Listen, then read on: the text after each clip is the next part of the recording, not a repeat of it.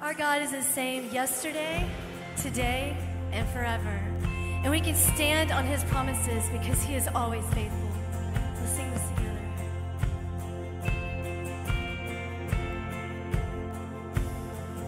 I'm calling on the God of Jacob, whose love endures through generations. I know.